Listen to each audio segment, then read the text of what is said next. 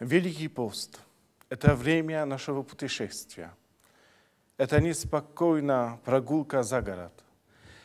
Отпуск на хорошем курорте в Турции или экскурсия в Италию, чтобы посмотреть памятники искусства. Наше путешествие во время Великого Поста похоже на бегство. В это время мы часто на литургии читаем об исходе избранного народа из египетского рабства. Наш путь веры похож на этот исход, к чему ведет нас вера. Она ведет нас от рабства нашего греха, от жизни без любви, от жизни без надежды, от жизни в темноте, лжи, ненависти, от жизни в смерти к свету прощения, к истинному свету любви, к свету, который сам воскресший Иисус Христос. Не можем себя обманывать. Этот путь непростой. Евреи на пути в землю обетованную 40 лет сбивались с дороги и много страдали. Они бежали от э, войска фараона, жаждали, голодали, теряли надежду. Если посмотрим на наш путь веры, бывает похоже – Часто мы сбиваемся с дороги, не знаем, куда идти, что делать.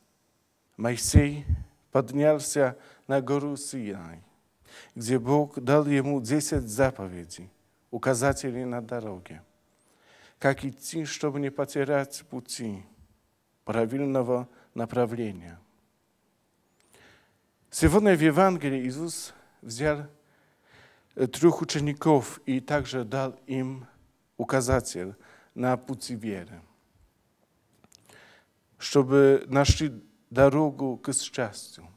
Этим указателем является Он сам, Иисус Христос. В Ветхом Завете указателем были заповеди. В Новом Завете этим указателем стал сам Божий Сын. Направление пути тоже непростое. Гора Фавор предсказывает Голгофу, на которой Иисус умер для нашего спасения. Значит, призывает и нас к следованию за Ним. Гора Фавор – это указатель на пути нашей веры. Но он указывает также на воскресение Господне – Piotr i Joan pierwszymi pobieżali k grobu Jezusa. Joan uwidział i uwierował. On достиг полноты веры и передал ее миру. Мы тоже нуждаемся в таких указателях, куда идти в нашей вере. Иисус взял с собой только троих учеников. И может быть, что мы не находимся среди них. И в своей жизни мы не увидели Иисуса преображенного, полного славы, полного силы. И думаем, что на пути нашей веры нет указателей. Но вокруг нас много людей, которые встретили Иисуса преображенного – как Петр, Иоанн, Яков, и могут быть нашими руководителями на пути нашей веры, к полной вере в воскресение Господне.